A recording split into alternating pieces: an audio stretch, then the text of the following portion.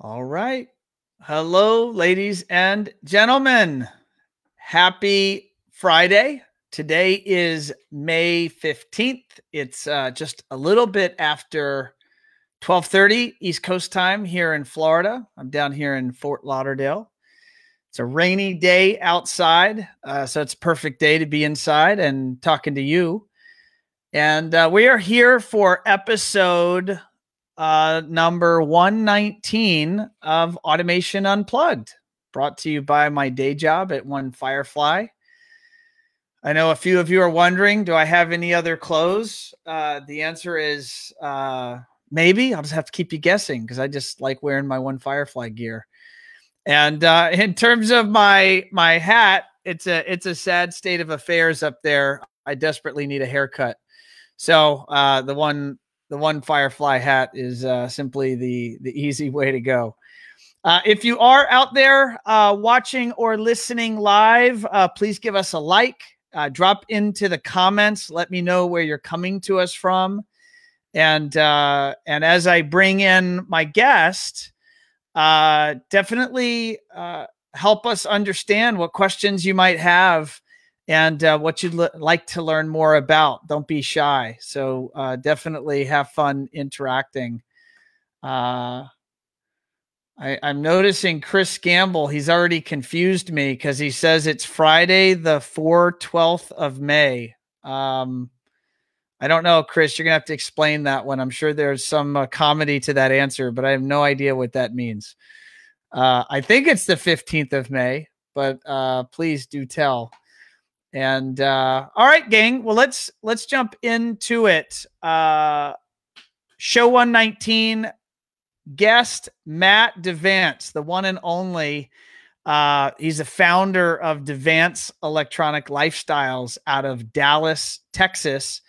Uh, longtime uh, friend and uh, customer of One Firefly, and and he and I have had the pleasure. Well, I want. I don't know if he feels this way, but I know I feel this way. I've had the pleasure of knowing he and his wife Dana uh, for for many years now. Actually, at the we founded our businesses uh, and and our our businesses have had a similar growth trajectory um, really since the the early 2000s. So. Uh, yeah, and Kendall just dropped a note. She says a special Friday edition. Hey Matt, Dana, Wade, and team. That is right. So, and it is all about team, and we're going to talk about team and culture and lots of fun topics with Matt. So, let me go ahead and bring him in. I know you guys are here to hear uh, from him, so let's let's do that. Matt, how's it going, sir? Going great. How are you doing? I am doing super duper. Oh. I see all sorts of wood. Uh, looks like acoustical doodads there on the wall behind you. So where where are you coming to us from? Uh, Dallas, Texas, and I'm in our home theater and our showroom. So that's uh, some walnut diffusers we had made for our our uh, theater. Awesome. So that is that's real wood. That's not foam. That's correct. Yeah, that is that is beautiful. And we are we already have folks, man, we you you got drawing quite the audience here, Matt. Uh got lots of folks uh saying hello. We got Matt Lean. Uh weren't there any other DeVances you could have on the show besides Matt? I think Matt wanted Dana to be the guest on the show. Yeah. Uh I next time, Matt, we'll have Dana. Maybe she'll mes- make a guest appearance. We'll see. Yeah. Uh and then uh, and then Dana actually is here commenting. She says, "Hey Kendall," and uh, let me give a few more shout outs. Tina says, "Welcome, Matt." Uh, from just down the road in Austin. Love so Austin. Tina. Austin is awesome. Uh, lots of shout outs. So I'm going to bring them in over the course of the interview. I have a feeling we're going to have a pretty dynamic chat. Awesome. Um, Matt, how long have you and I known each other? I think we met each other. I want to say it was probably somewhere maybe 2009, 2010, maybe. That sounds that sounds right ish. I started Firefly Design Group back in 07. Right. And we were doing the drawing and the project engineering thing, which I think is you know who introduced us? Look what I got right here. Wow. Holy cow. You have Remember a that? legacy. Yeah, look at that. That is the sales portfolio. Holy moly. That you guys did for us back in the day. Uh, we would have done that probably around 09 or 10 or 11, something like that. Right. Uh, yeah, I was just say I I think Troy Morgan uh, Yep. there out of Dallas. I, I want to say he introduced us. That is correct. Yeah, Troy was a Crestron, still is a Crestron programmer uh, Right. there with Pantech Design. Yep. All right. Uh, as I always love to do, I have a, a whole list of topics um, that are, are going to be fun for our audience, uh, I think, to hear your take on. But before I go there, I always love to hear the origin story. And so, do you mind sharing? If we go in the way, way back machine, Yeah. you know, 25 years plus, what were you doing and how did you end up landing in this custom integration space? Sure. Um, the way back story really is uh, back when I was probably five, six, seven years old. My my father was in the Air Force, and we were stationed in Omaha, Nebraska. And in Omaha, you have basements. So his kind of, I say it now as a side hustle. It's what we know it as. Uh, he would repair electronics out of the basement uh, as a, kind of a hobby slash a little bit of way to earn a little extra money. He was one of the first uh, to get into the Tandy computers, Commodore VIC 20, the Commodore 64, those first generation computers. Uh, but that really kind of piqued my interest in audio video, if you will, because I remember him repairing VCRs and um, uh, speakers and receivers. And he was in the military, so he was he was in the military in some capacity, and this was like his side hustle. This was his side gig. Correct. Yeah. So during the day, you know, he'd go off to base and be there all day long, and then at night be fixing things, taking things apart, putting them together. And uh, I always loved watching, you know, all that. Uh, I got to really enjoy the smell of solder. Um, Sure. soldering stuff all the time, and um, so it. What just- what? How did he learn to do that? Was he an engineer by education or by hobby? Like, how did Uh, he know to do that? through the military. He did. He did a lot of that in the mil- military. Okay. So uh, that just really piqued my interest, and and so I got to take things apart, put things back together. Uh, I love working with my hands, and and so that really got me into uh, the industry, if you will, at an early age. And then when high school kind of rolled around, I, I really got into audio systems and cars, and I had a truck, and I did my own system in there, and I competed in IASCA events. And then next thing you know, I had people in high school wanting me to make systems for them or install stuff for them, so I did that um, and I really enjoyed it. And that got me into audio uh, and and just enjoying you know music in general. I, I know of the IASCA stuff, but I don't know it exactly. Like when you were designing a car audio system and you were competing, Yeah. what were you compete? What were you trying to achieve? Like what would win you an award? Sure, uh, a lot of the people that were competing would compete in the DB category, which is just how loud is your bass, right? You know how much how how many dBs can you have in a car? Uh, and I remember one car had I want to say 155 dB, which just That would like kill you if you were Oh, inside yeah. that car, would it not? Yeah, yeah. oh my it, it rattles your eyes uh, and but that wasn't what i was going for i was one going in uh, sq which is sound quality so i was going for i wanted it to sound as realistically as possible as you could in that small environment which is absolutely awful for acoustics I see. So you were trying to get the highs, lows, and mids. There was some standard for good audio, or I guess you would always know the quality of the the source, and you were they were testing you for your ability to reproduce that accurately. correct yeah and so that was it. really my passion on- on the car audio side was the sound quality At the, i felt like anybody could do bass and make things really loud but it's much more of a challenge to make it sound really good in an awful environment Got it. And you you mentioned computers. Did did you guys also like build computers? You know, back in the day, or yeah my dad did for sure i mean he built a lot of them and that's his business today and, and he's starting to kind of slow it down a little bit but he's he's had his own business building the software programs building computers he does a lot of our computer stuff in our office to for us today still Did you ever So- go to the old computer shows? Like I remember as a kid, my dad was a computer nerd, and he would, you know, I remember it was the big deal when the computer show came to the Coliseum, yeah and we would go and you'd get all the vendors selling the video cards and the audio cards. And I, I know for our young people listening, they're like, what are they talking about? right But like that was how you'd build a computer back in the day, is you'd go buy all your pieces and parts. That's right. Yeah, we did that, and it was on Saturdays. We get up early Saturday morning, and we go down. Um, it was downtown Dallas, and it was one, under one of the bridges, but it was always every Saturday. And you'd go there, and they'd set up all these vendors would have all this stuff set up, and you can just walk through, and it was just hundreds and hundreds of people there trying to sell, you know, uh, hard drives and computer cases and everything you could even think of. I, so I, rem- I remember when my dad built my first computer and, and we got a 40 megabyte hard drive. wow. And that was a big deal. Yeah. I, I have no idea what you can put on a 40 megabyte hard drive, but it can't be much. Not anymore. Yeah.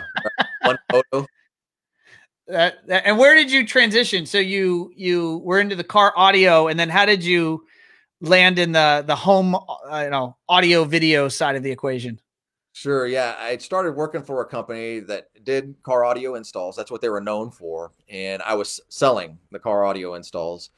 And uh, they also did home audio. And one day they needed somebody to help them with a home audio install. And I was there. And so I got elected and got to get out and see it. And my eyes were opened. And, and it was amazing how I, I realized the potential of a home audio system as opposed to a car audio system. You're no longer limited by this small space.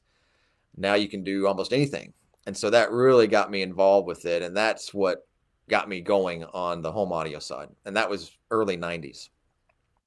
Got it. So early '90s, and and then in the early 2000s ish, Yeah. you decided to to leave the the store that you were in. What what store was it? It was home entertainment. So it was here in Dallas. Texas. It was a store called Home Entertainment. Uh, them and Hillcrest High Fidelity were kind of the big competitors of each other. I think there was three stores here in Dallas, and they had uh, four stores in Houston.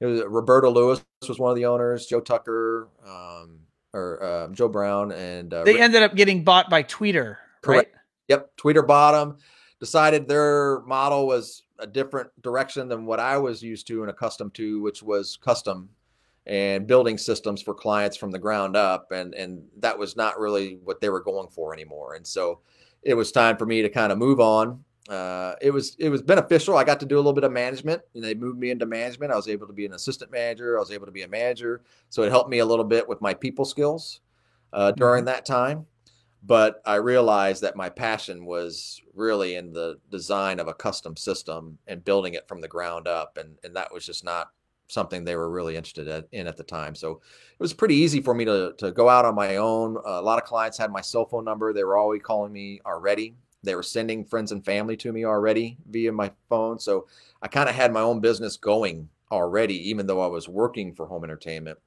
I was taking care of them as if they were my client, not home entertainment's client. And so that transition when I left was a pretty smooth transition and pretty easy transition because my phone just didn't stop ringing. And from that point on, I just, okay, I'm a business owner. So you've been running you you with your wife Dana Yes. have been running DeVance Electronic Lifestyles all the way back since 02. Correct. Yeah. I started it in 02. She didn't join the company until 07. Okay. So I was, it was me and one guy working out of my house. I was selling, he was installing, I was doing all the bookkeeping, paying all the vendors, doing my taxes, you know, everything. One man shop. And then I go out and help him install sometimes too, but majority of time he would install and I would sell. And my wife eventually said, "You're this is getting too big for you to be able to handle by yourself. I'm com- I'm quitting my job. I'm coming to help you." And she was the catalyst to really get us out of the house, get us into an office and start getting people in place that can do the things that is not really my forte, like the bookkeeping and, you know, ordering product and things of that nature. So she was the catalyst of really trying to get us to grow our team.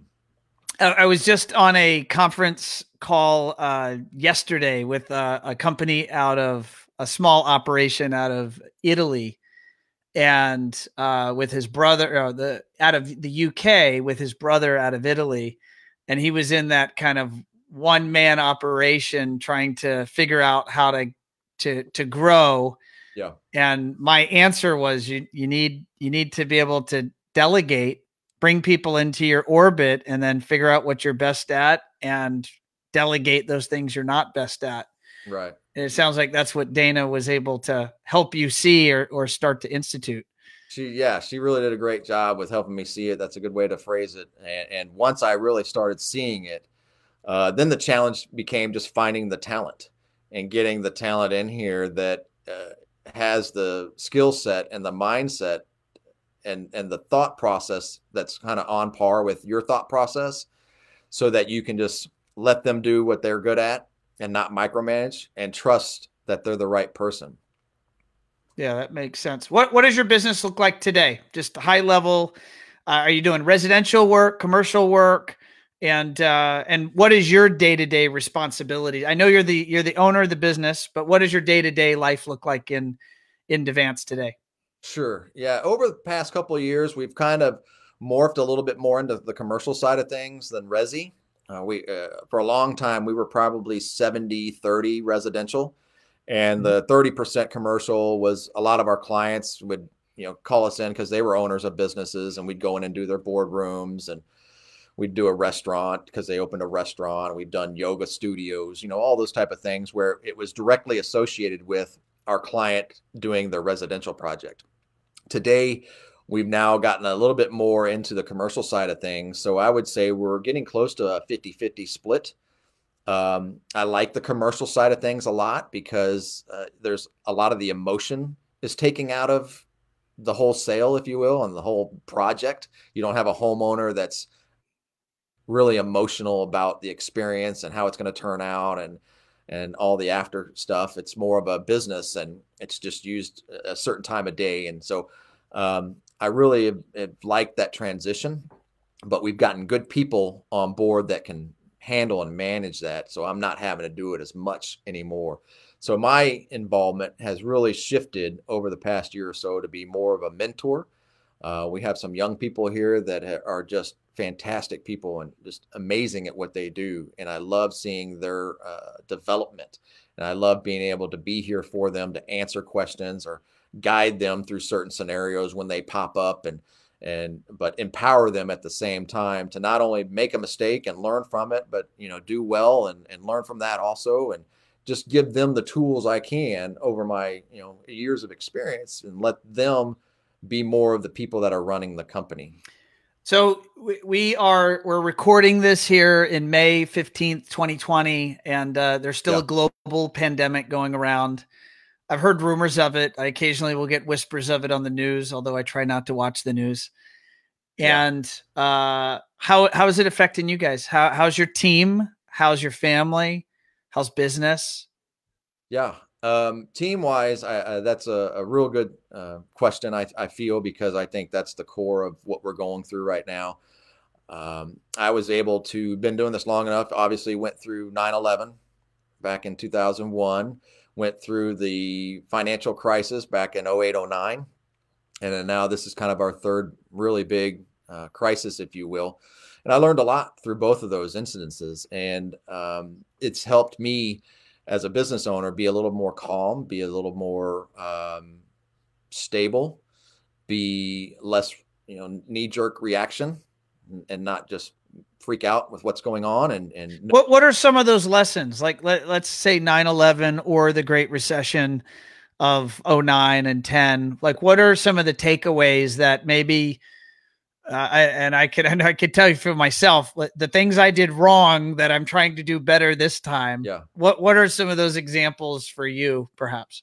Uh, after 2001 and not, when 9/11 hit, you know, one of the things that uh, really became uh, predominant for me in people's lives is they really wanted to make sure that their families were kept safe in their own environments, and uh, it was almost a competition between families of who could have the house that has all the entertainment built into it to where the kids want to go to that house so that mm. they watch their own children, you know, and, and know where they are and what they're doing and that kind of thing.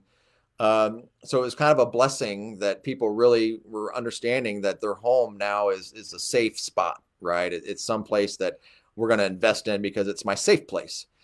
And in uh, 0809, fortunately, the Dallas Fort Worth area, um, with the way it's spread out, the economy spread out here, it's not really focused on oil. It's not really focused on the medical side of things. It's really spread out. Um, this community really just kind of kept going and didn't really miss a beat. Da- Dallas is an amazing market. Not D- Dallas, and then just the whole state of Texas. Yeah. It's it's like its own micro economy in the United States, and I'm I'm saying that from a perspective. I work with people throughout the world, and then throughout North America, and then there's Texas. Yeah, and it really must be rather uh, uh, fun to be doing business in the state of Texas in such a special economy. I definitely love it. And you're right. You know, I go to a lot of events, whether it's a ProSource event or CEDIA event or whatever, and you get to meet people from all over the country and all over the world. And you get to meet people from your own state, right? And it is true when you're talking to people that aren't in Texas and how they talk and how they speak and what's going on with them. And then you talk about or talk to somebody that is in Texas, it's a totally different, totally realm. different conversation. Yeah. it, it it's amazing. So, but I interrupted you. You were saying in 09 and 10, and then I I, I jumped in. So please uh, continue. Um, so in 08, 09, um, as a matter of fact, we were hiring uh, during that downtime, and we were hiring more people. We had a ton of business going on, a lot of big projects. You were hiring during the Great Recession. Yes. Yeah, we had uh, started a couple of really big projects. One of them turned out to be, when it was all said and done, about a million five. And those people didn't miss a beat on their projects. They just kept going. They're like, we're not stopping. We're not letting this slow us down. We're going to keep going. And that was what really helped us through 08, 09. And, and we were able to hire people that needed jobs, get them on board with us because we needed people to help us do these projects. And so we learned a lot through that on just maintaining the course, right? Don't deviate. Don't uh, try to let outside distractions determine how you're going to run your own business. It's so easy to do, you know, because you, especially like you're saying, you don't watch the news. I was watching a lot of the news recently when this, you know, pandemic got kicked off just for knowledge. But uh, over the past week or so, I've kind of relaxed that because it really does start to affect your mindset and it really does start to affect maybe it is terrible outside. Maybe i i maybe the fact that we're busy and doing well maybe this is an illusion. Yeah you know you hear all these different things that can get into your mind and your thought process. And as a business owner you need to be able to stay focused. You need to be able to stay the course and not let all these outside um, distractions if you will determine the direction of your company. So 08, 0809 helped me with that a lot. So now that we're going through this now, it's scary, but the main difference is the world's going through this. Those other two, it was really just the US that had to deal with it. This one, the whole world is now impacted and going through it. And uh, I feel that even though we're going through it and we've started to slow a little bit, we've had some people put the brakes on their projects. We've had some that are not putting the brakes on the projects, and we're really we're still plowing through them. Uh, but we have seen it slow down a little bit. We're not going to be concerned about it. We're still going to stay the course. We still know that your services that you provide us with all the marketing that you do for us, the new website you just did for us, that's all going to be very vital right now during this time to get us out there uh, and help our clients because when people get to the point of, of kind of getting back to things, I feel like they're going to really invest in their homes again, invest in their offices again, and and really want to be prepared if it happens again. Yeah, I, I, I, you, you gave us a very nice shameless plug, which I will graciously accept. And uh, so I just put on the screen there your website, um, and I'll, I'll just, I'll kind of cruise through that a little bit as um, as you're you're talking. But I, I am curious. What are I, I have an assumption. Uh, I'm I'm feeling better and better about this assumption by the day. Yeah, and that is that uh, as folks are spending more time in their homes than they probably ever have, that there's going to be a demand for the toys in the home that we provide as an industry the music the the the networking the audio video and the control uh it, do you see like that's an assumption i have and i know that some of my customers maybe many are very busy are you seeing that And do you believe that that is like, let's say there's a second wave, like let's just run worst case. Yeah. Let's say there's a second wave of this thing and then maybe a third wave. Like Sure. if you look back to the Spanish flu, Right. it came in multiple waves. Sure. Um, all that means is our consumers are going to be spending more and more time in their homes. Right. So it seems logical that you would be in demand. Sure. We as an industry would be in demand. What what are you seeing? Yeah, we're definitely seeing that. We're seeing um, projects that we might have uh, been talking with the client and they put the project on hold or they decided they weren't going to do it right now. Maybe something else, you know, came up or whatever. But we've been getting feedback from those clients now saying, I wish I would have gone ahead and, and did that with you because now I'm stuck in my house and I would have liked to have had the better music or I would have liked to have had the faster internet speeds or I would have liked to have had this media room already done that I've just decided to put off. Um, and I think you're right. I think people, if, especially if it's going to come back multiple times, people really are going to start investing more into their homes because, especially if you think about a media room or a theater, the goal of that is technically to transport you to a different time or a different space or a different, you know, change your your mindset. Um, and I know that it, it does that for myself and my wife, you know, at night when we want to have a different mindset other than thinking about what's going on around us every day in the world. I, I want to get away from that. And we can turn on a movie and it achieves that. We watched uh, last night a stupid movie, Zombieland. Oh, I watched uh, the Z one with Brad Pitt. Uh, yeah. right when this whole thing went down, and uh, somebody helped me out in the comments. What's that movie called? Like Zombie Z, or I don't know. Right. So, I mean, it, that was one of those things, right? It's not Zombie Land is not a go-to movie. Like, oh my goodness, you got to see this movie, right? But Yeah. it was one of those movies where you're, you don't really have to think. It's going to kind of make you laugh. It's silly, and it gets your mind off of everything that's kind of going on around you. And I think more and more people are going to understand that now and want to invest in that um, in their homes. Now, so I, I now speaking of the pandemic, and I, I know that you guys have a beautiful showroom because I, I went there myself this past uh, fall, and I'm gonna put one of the. This is a, a little corner of your space, Sure. and there's this pic- spectacular uh, McIntosh, and I think that's B and W towers. Um, so you have a gorgeous space loaded with fantastic gear how do you see the demonstration experience change if at all Sure. Um, I think more and more people are going to want to have an experience. They're going to want to be able to go into a facility, especially if they're going to invest the money now into a media room. They're going to want to experience a media room. And I think it'll be better for us as integrators because we'll be able to show some fantastic experiences and have people say, perfect, I want it. This is exactly what I need in my house. So if something happens again, a second, third wave, or whatever other, you know, something that could come along that's going to make me and my family be in the home for long periods of time, this will be something that I can do with my family and it can be a getaway at the same time. Because you think about the vacations that aren't being taken right now, all the extra stuff that i don't think anyone's going to go on vacation this year Right. And you think about that. So, what is your release as a family? I mean, it was going on a vacation, it was going somewhere, it was transporting yourself to a different time or a different place. And if you can't do that by physically going somewhere, I think people are going to see that and recognize that and say, let's do that in our home. Let's make that a reality. So, if we are here and we have to be here, we can kind of do that in our own home. now i have to give you a very public thank you matt to you and your team because you helped one firefly and you helped the industry at large and and many do not know this so i'm going to disclose a little secret uh, and that is that you uh, so we one firefly we're producing websites and last year we produced a website called um, we brand it called mercury pro.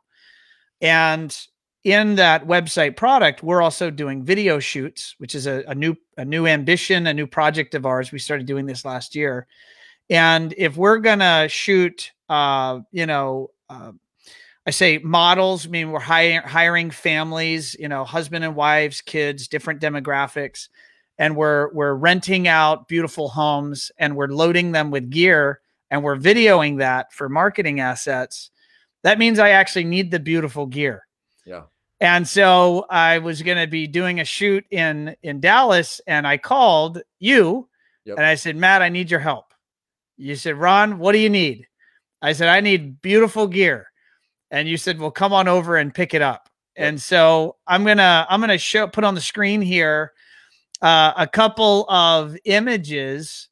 Uh, I'll do it this way that we were able to capture, and then I'll I'll come over to the screen and show how this is realized. But this, what is this here? This is a McIntosh setup over on the bookshelf. Correct. Yeah, a little McIntosh um, executive system, if you will. Some speakers and a little amplifier, and you can hook up a you know some kind of streaming device to it. Uh, I mean, it's it's an impressive little system for what it is, to be honest with you.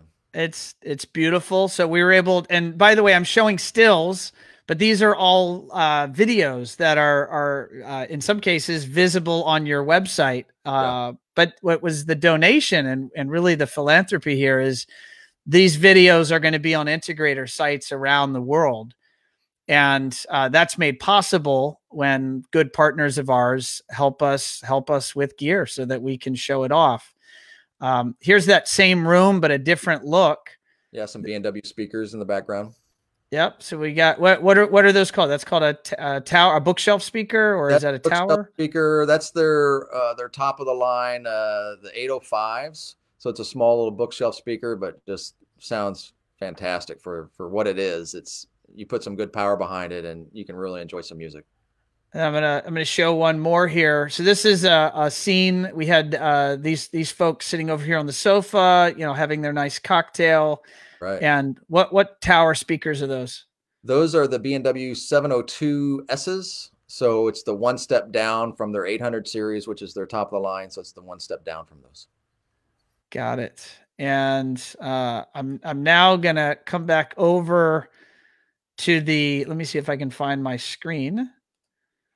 And so now I'm gonna I'm just gonna show the audience here. I know for the podcast I'm, I'm having to verbally I'll try to verbally describe this, but I'm just gonna show a quick video to show how some of these speakers are are then being realized. And again, uh, big thanks Matt to you and your team for letting us borrow this gear so that we could include it in our our video shoots. Yeah, um, I'll give all the credit to Kalen here. He was the one that kind of got them ready for you and helped you get them and got them back and took care of them.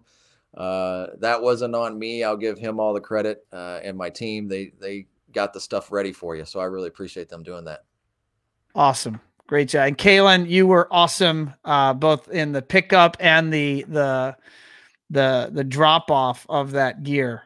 And uh, I'm gonna uh, Matt, if you don't mind, I'm gonna give a few people shout outs here that are are commenting. Awesome. Um, Matt Lean is he has a question for you. He's saying, "How much do you think your showroom raises your average project ticket? So does it make an impact on the dollar value of your projects?" Sure, I, I, I definitely believe it does, and I know it does. Uh, that a lot of what a showroom can do for you, other than just showing product product itself, is it gives you validity in the industry. It gives you some credibility that um, what you say you can do, you can do. Without a showroom, you can meet a client, and I did it for a long time. And, and uh, I think I was blessed with the gift of gab, obviously, where I can get people feeling comfortable to do business with me. But I sold a lot of product without even having a showroom. But once I had that showroom, it definitely became much easier because it's it's solidified my capabilities and what I can do and what I can achieve and what I can do for them and achieve in their own home. So I would say at a minimum, um, it's raised at least 10% of you know your projects when you get somebody in your space and you can show them what you do you might not sell them certain things in your showroom that you've spent a lot of money on um, but they'll see it and that'll be in their head and what that does is if it wows them you've gained their trust, you've gained their confidence. So now going forward, when you make recommendations on on product or a way to do something, they're going to be more open to listening to you because they've physically seen with their own eyes your capabilities. So they have that that trust in you. That makes a lot of sense. By the way, Liz Sizemore helped me out here. It is uh, yeah. World World World War Z. If you're looking for the perfect pandemic inspiration movie, watch World War Z.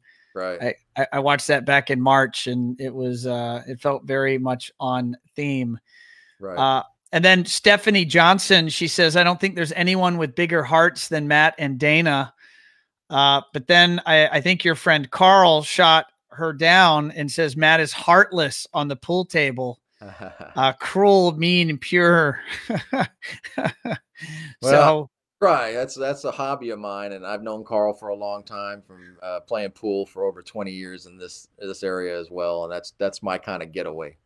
No, that's fun. So I, I know that in in just chatting with you prior to going live, Matt, um, some of the words and the language you were using uh, I, I really connected with as it relates to the, your approach to your team and company culture. And I I asked, I didn't know this, but I, I just said, have you heard of a book called Traction? And you said, yes, Ron, we're following the Traction EOS system yes. here at DeVance. And, you know, One Firefly start, adopted this methodology back uh, last summer, and we've been kind of on a a path of improving our business and operations and processes based on that. Do you mind sharing with the audience what is that and what does it mean to you and maybe even how has it changed how you look at running your business? Sure. Yeah. Uh, I'll give credit to my wife, Dana, and our CFO, Stephanie, when they went to a ProSource event last year in Tennessee.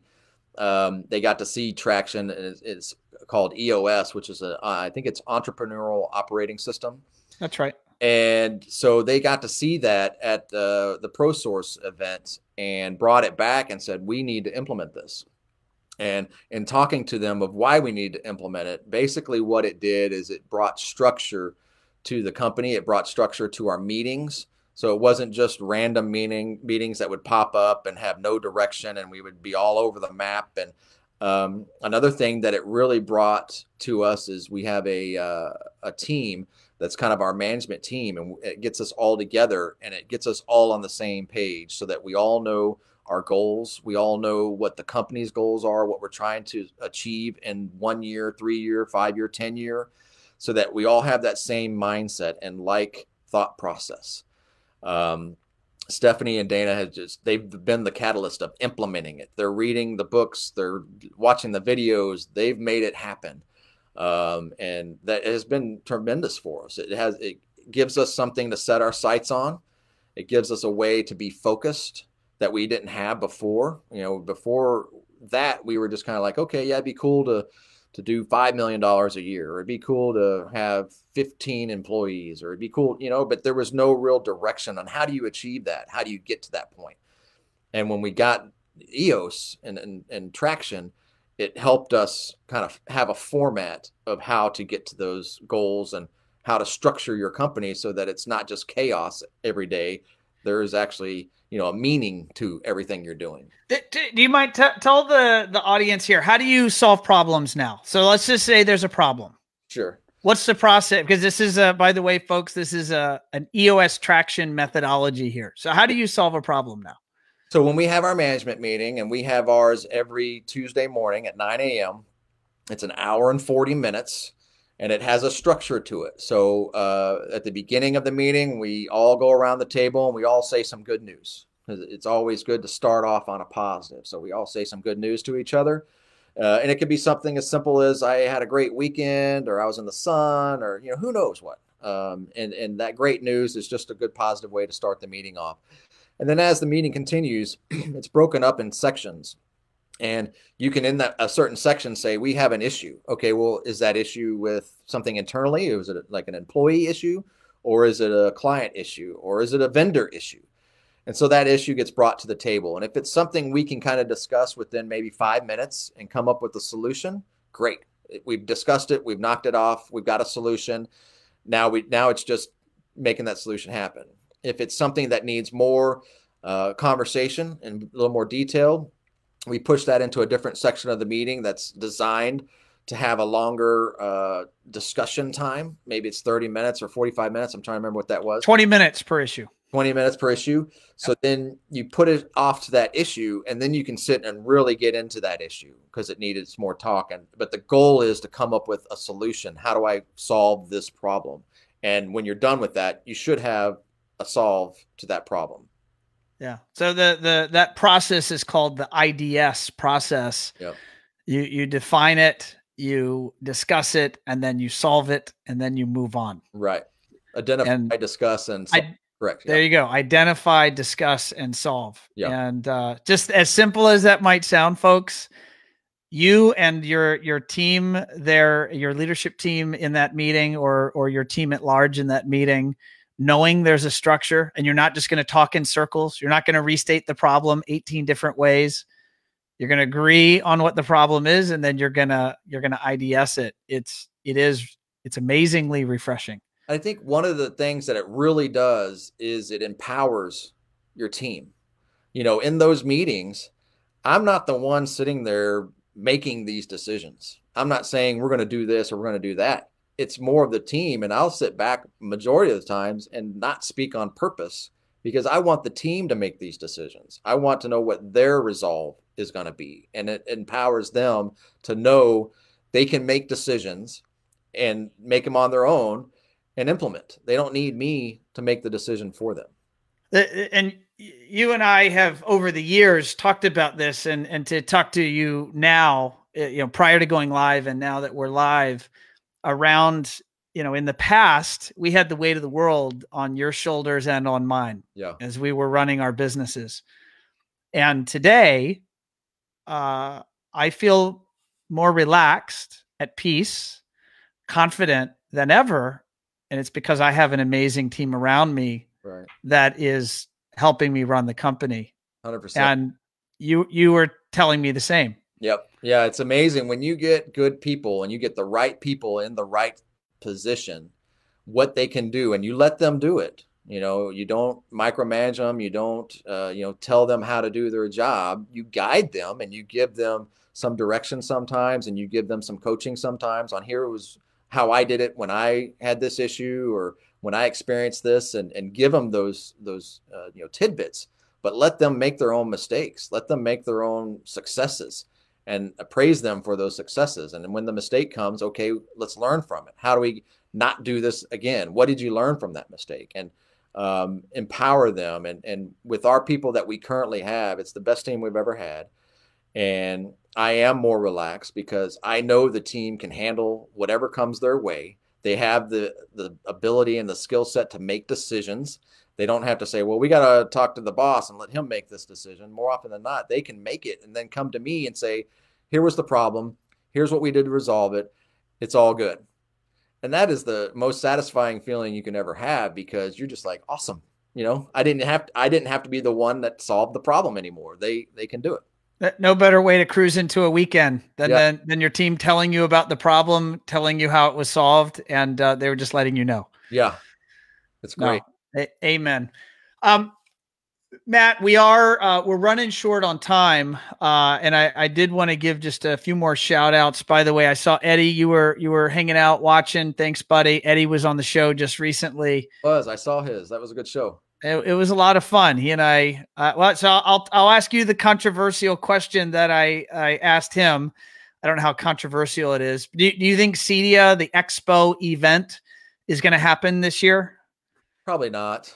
Um, you know, they, there's still just too many questions out there that need answers before I think people are going to be comfortable getting back together in a large group. So do, do I- you think? Uh, so I just received an announcement uh, that they're going to hold it, and it's Okay. now been reduced to two days. okay, I'm still kept skeptical it's going to happen. yeah, Uh, do you think if they still hold the show that they do you think it's the right thing to do? Should they hold the show? Is it the right thing to do? It's hard to say now, you know, because we need more answers, right? Of, of what's really going on with um, the the virus. Is it getting better? Are we getting better? Or, or is it going away? That kind of thing. Uh, I would probably be better to answer that question maybe two months prior to that, as opposed to now, because I just it would be speculation. And if I had to speculate it as of today, I would say probably it'd be better not to have it. Just go ahead and cancel it. Don't let people you know, do deposits and and get their hopes up and do all the stuff um, based on. Think about it. all the money the vendors have to spend Right. to Yeah. be at a show properly. Yeah, you know, and and why have them go through that extra stress right now of trying to prepare for a show that might not even happen?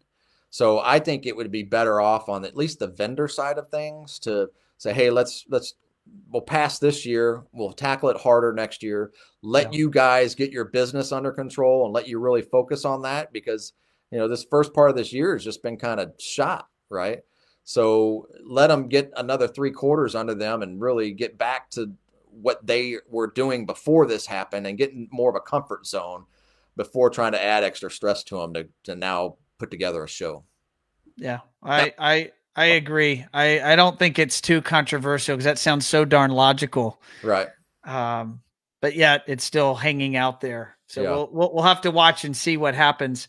Matt, I I I- always love to close with um if you are game, there's folks listening, there's people watching live for sure, and there's folks that are going to watch later or they're going to listen to the podcast. And um and maybe they are they're they're they have challenges, you know, dealing with a they haven't been through the battles that you've been through in terms of all these opportunities to learn. This is their battle they're going to remember and reference in their future career. Yeah. You have any advice for them how to get through it? Uh oh, what do you got there? Small business for dummies. Okay. I, I didn't know such a book existed, but it makes sense. No, I, I got this probably 20 years ago. Um, um, no, I think really you got to have faith, you know, and, and it's not necessarily, um, you don't have to be religious to have faith, but you have to have faith in society. You have to have faith in the world in general that um, we're all going to get through whatever comes at us and learn from it and learn how to, uh, especially if you're the, uh, the owner of your business or the, the leader in your industry, whatever it may be, that you uh, understand kind of what's going on around you and just sometimes you just got to be calm and listen before making decisions. You don't want to make any kind of uh, knee-jerk reactions to things and and maybe let things present themselves um, which might take a little more time. Uh, so i would just recommend uh, from what i've experienced going through 9-11 and 08 09 is to remain patient remain calm um, try to laugh try to enjoy you know who you're with. Try to enjoy your teammates that you're around. Make them laugh. Have fun with them.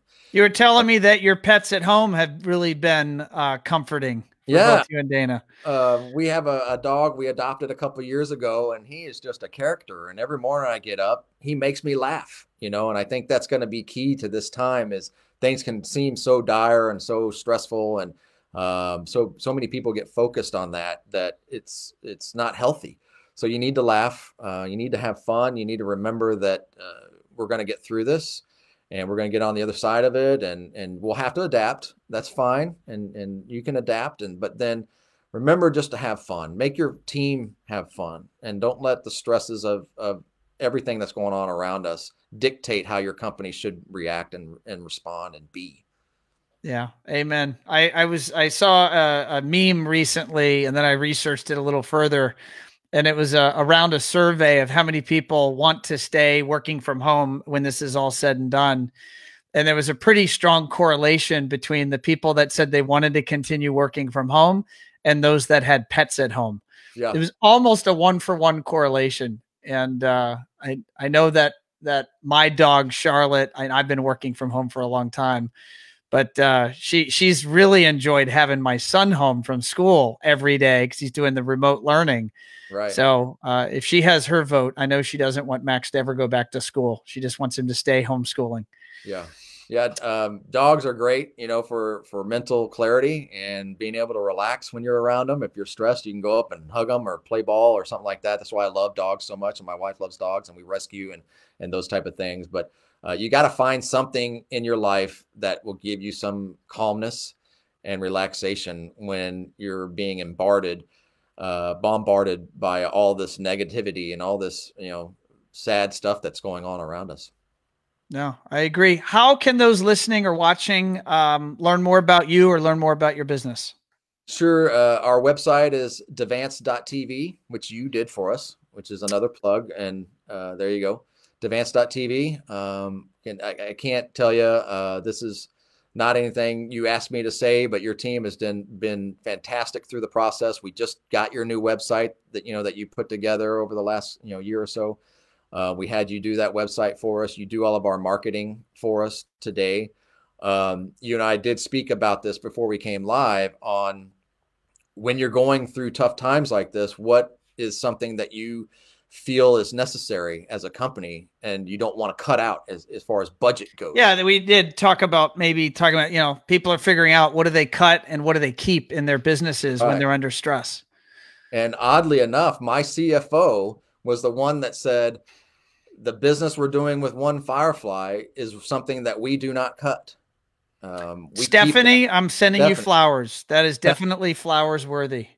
And so she said, you know, they're very vital to our business. Keep them going. Um, yeah. So uh, there's going to be a lot of tough decisions that business owners have to make, but hopefully, um, with these type of podcasts you're putting on, they can hear from other business owners and this, the decisions that we're making and help them uh, with their choices. Uh, I would say that our choice of keeping your services going um, is an easy one because it's just going to help us in the long run. And, hopefully, other business owners, if they're not doing business with you, maybe they have somebody else they're doing business with that's taking care of them, that they continue that service with whoever they're using um, because it will help in the long run. No, awesome. I, and and I, that is a, a, a, very kind words, very gracious. Appreciate those thoughts and feelings. Uh, and it is mutual. You you've built an amazing team and I know my team really enjoys interacting and working with your team. And uh, and I, I, say that I don't say that lightly. I, I I won't mention names, but I had to fire a customer yesterday because they weren't nice to work with. Yeah. And uh, you never want to do that, especially when the economy is so weird and bad. But at the end of the day, time is finite, uh, and you know I want to be around both my family, my friends, my employees, my customers I want to be around people I enjoy being around. Yeah. Why do anything else? Yeah. And, and our time is valuable. And why have this time with everything else that's going on have more stresses put on top of it? It's Get a choice. And yeah. and I know you choose, you know, the the people you spend time with and and we do the same here at One Firefly. So again, we wish you guys tremendous success for the balance of 2020 and and Matt, thanks for being on the show, sir happy to have you or happy to be here and thank you for having me and I've enjoyed it and and hopefully people can look at this other integrators or other business owners and it'll give them some insight. Awesome. Folks, there you have it. Episode number 119 of Automation Unplugged. Thank you for all you folks that are are still tuned in. We we kept a pretty steady audience. Obviously, Matt uh, has quite the following, and uh, I know he and Dana are, and his whole team are just tremendously respected in the industry, and uh, they've built quite a name and reputation for themselves. So uh, it was uh, an honor to have uh, Matt on the show.